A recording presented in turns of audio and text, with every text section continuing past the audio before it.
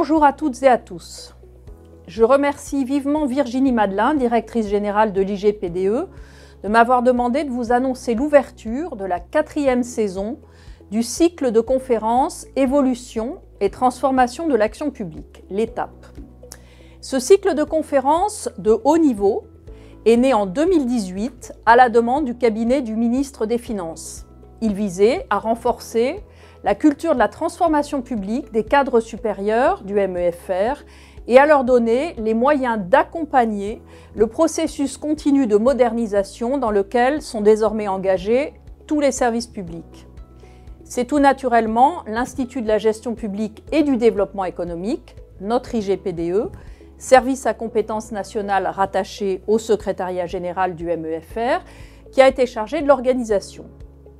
Avec le contexte sanitaire, le format distanciel a rencontré un franc succès et le cycle a vu son audience s'élargir à tous les cadres de l'État, en ministériel et en interministériel, notamment ceux exerçant en région.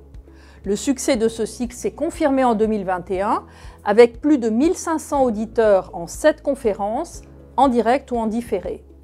Les vidéos des conférences sont d'ailleurs accessibles sur la web TV de l'IGPDE. Pour ne citer que, on cite parmi les intervenants Nathalie Collin, directrice générale de l'administration et de la fonction publique, qui a dressé le panorama de la transformation de la fonction publique. Le secrétaire général du ministère de l'Intérieur, mon collègue Jean-Benoît Albertini, a présenté la transformation des services en administration centrale comme dans les territoires. La directrice du budget d'alors, Amélie Verdier, ou encore le directeur général de la DINUM sont intervenus sur la transformation numérique des administrations. J'ai eu moi-même l'opportunité de présenter un projet qui me tient à cœur, le projet de transformation du secrétariat général Ambition SG en 2021, qui est d'ailleurs en cours de déploiement. Pour 2022, le cycle propose une programmation renouvelée sur le thème de la transformation de l'action publique entre temps court et temps long. Le récent contexte sanitaire a en effet rebattu les cartes de la transformation publique. Il a mis en exergue le besoin d'une action publique agile, réactive, au plus proche du citoyen, sans remettre en cause pour autant les réflexions plus globales et à plus long terme sur ce que doit être l'action publique dans une société en constante évolution. Qui peut imaginer que la place de l'État soit la même après la crise?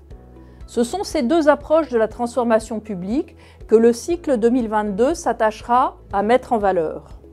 Les premières conférences, axées sur l'approche en temps court, débuteront dès le 31 mars 2022 par la conférence de la très remarquable Sandrine Godin, secrétaire générale aux affaires européennes, SGAE, qui évoquera une présidence française de l'Union européenne en temps de crise.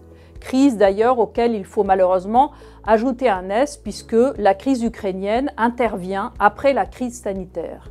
Elle sera suivie en avril d'une conférence animée par Mélanie Joder, tout aussi remarquable, qui est notre nouvelle directrice du budget et qui témoignera sur la gestion financière de la crise sanitaire.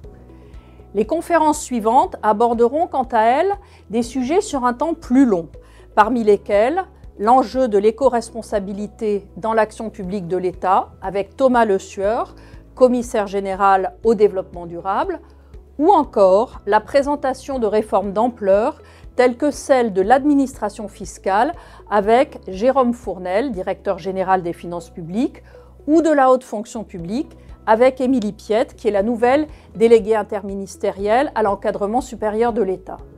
J'ai donc l'honneur de déclarer ouverte la quatrième session du cycle Étape et j'espère vous retrouverez nombreux connectés à ces conférences qui s'annoncent passionnantes.